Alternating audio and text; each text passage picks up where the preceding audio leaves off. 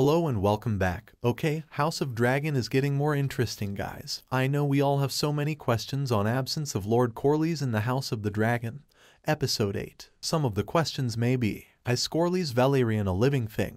Will Corlys Velaryon return to House of Dragon? Where is the sea snake? Does Corlys survive? Well, let's not waste time and get back to discussion. It was clear that the sea snake was missing. This is why. Episode 8 of House of the Dragon noticeably lacks Corlys Velaryon. The sea snake is nowhere to be discovered, even though the entire family has gathered around the table for one last meal with King Viserys I Targaryen. We receive a hazy justification for Corlys' absence. He's been hurt in the Stepstones recently, and his wife Rhaenys hasn't seen him in six years. There is a grave wound. Within the first 10 minutes of episode 8, we learn this knowledge, and it isn't brought up again. Significant interpersonal conflict results from Corlys' sabbatical from his responsibilities as the Master of Driftmark and the Lord of the Tides. If Corlys were to pass away from his wound, his brother Sir Vaemond Velaryon requests that he be declared the heir of Driftmark. Rhaenys tells Vaemond in a frustrated tone that Corlys wants her second child, Lucerys Velaryon, to succeed her as the Master of Driftmark, and by extension, so does her son Laenor. However, Vaemond is sure that it be him because it is known that Rhaenyra and Laenor are the parents of Rhaenyra's three boys. You already know what happens to Vaemond if you've seen episode 8 of House of the Dragon. However, you could still be unsure of where Corlys is. Where is the sea snake? To understand the cause of his disappearance, we must clarify exactly what transpired between Rhaenys Targaryen and Corlys Velaryon.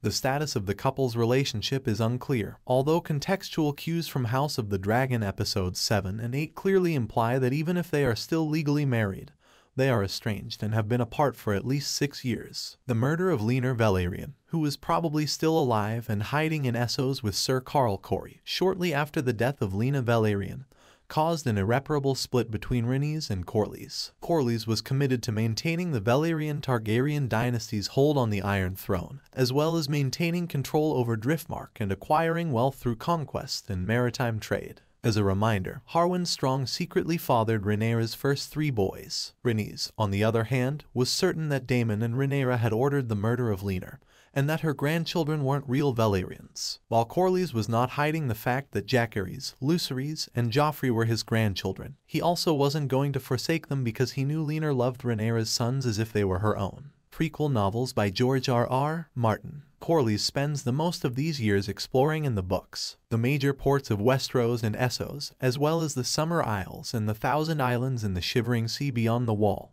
are just a few of the places he travels to in the series. He also visits practically all of the other locations that are mentioned. It's possible that Corlys is recovering almost any place in the world. One of HBO's upcoming Game of Thrones spin-offs, The Sea Snake, may chronicle some of this time spent apart from Rhaenys. Can we expect Corlys Velaryon to return to House of Dragon? By episode 9, it's likely that the Sea Snake will return to House of the Dragon. It makes sense to think that he will heal in the show as well because in the novels, he gets better right before Aegon II and Rhaenyra Targaryen's battle begins. Corlys, who briefly served as Rhaenyra's hand during her contentious rule, is a key character throughout the Dance of the Dragons. Corlys never wavers in his intense loyalty to his family, especially to his grandchildren. He works to maintain good relations between the Targaryens and Velaryons after Viserys' passing. His intentions are good, even though his efforts aren't always successful. That will become increasingly rare in the future. Thanks for watching. Don't forget to like, comment, and subscribe for more videos.